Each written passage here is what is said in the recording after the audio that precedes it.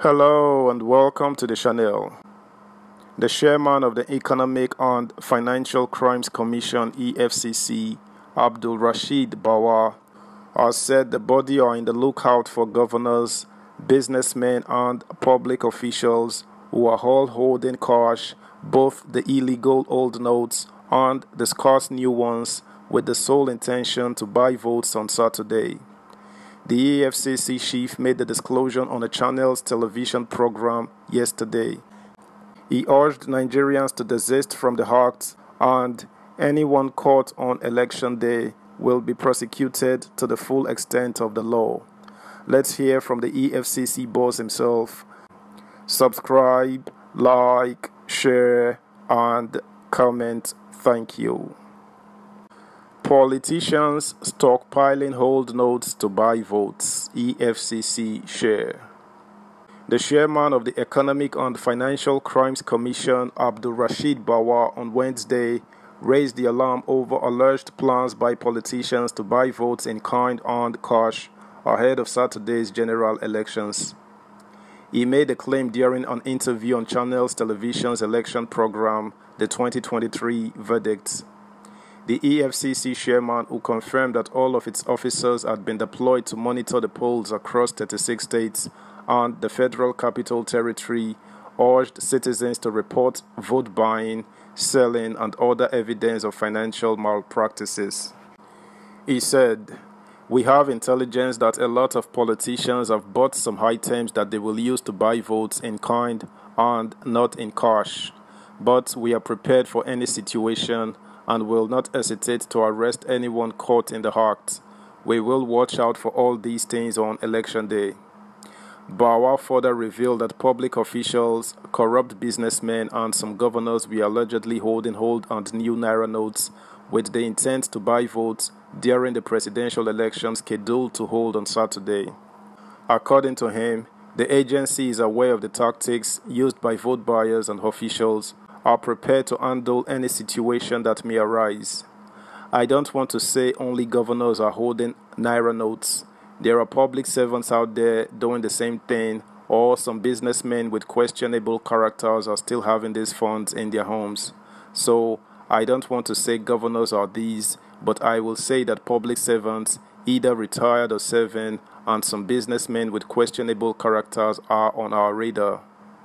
The biggest hurdle is if Nigerians don't buy into what we are doing, but I believe once we are united, we will be able to take inadequacies out of our system, he stated.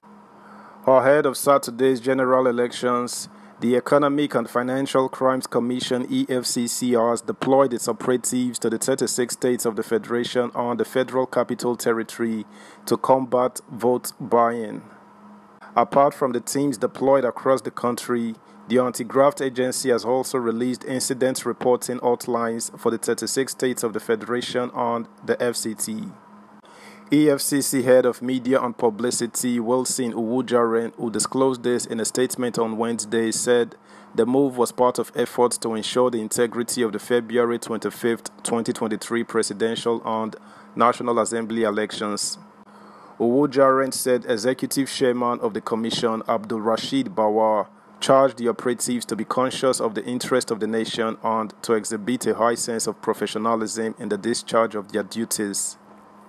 You are hot on a national assignment, and I expect you to conduct yourselves responsibly in line with our core values of professionalism, integrity, and courage.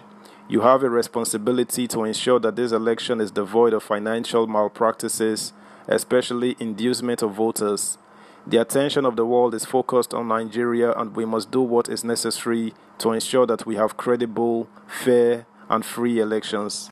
The Commission also urged members of the public to report any case of vote buying or selling or other evidence of financial malpractices designed to compromise the electoral outcome through these hotlines.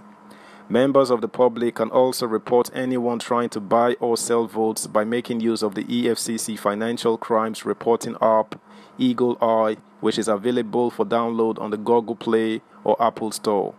Additionally, the public can reach the Commission through our social media handle at official EFCC or by email info at efcc.gov Subscribe, like, share, comment, and please turn the notification bell on. Thank you.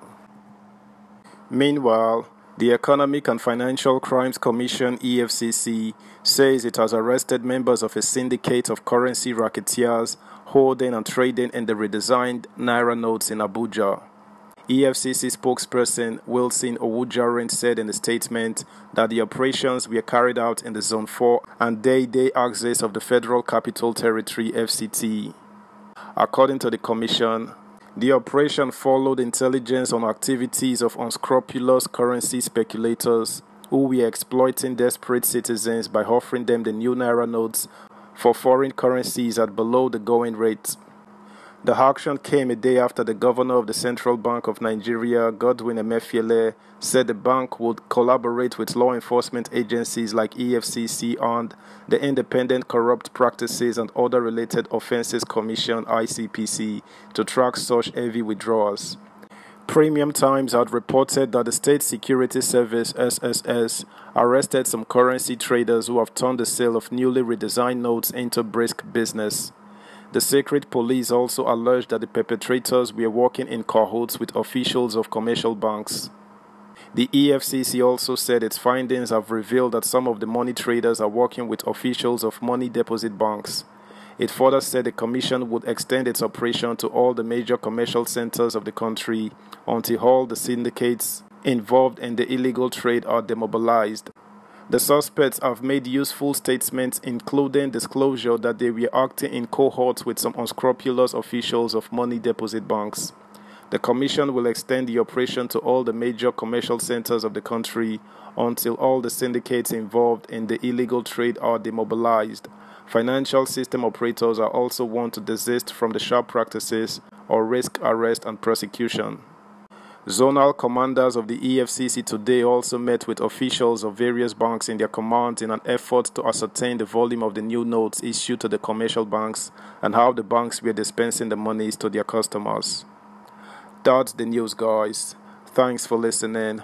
Until next time, bye.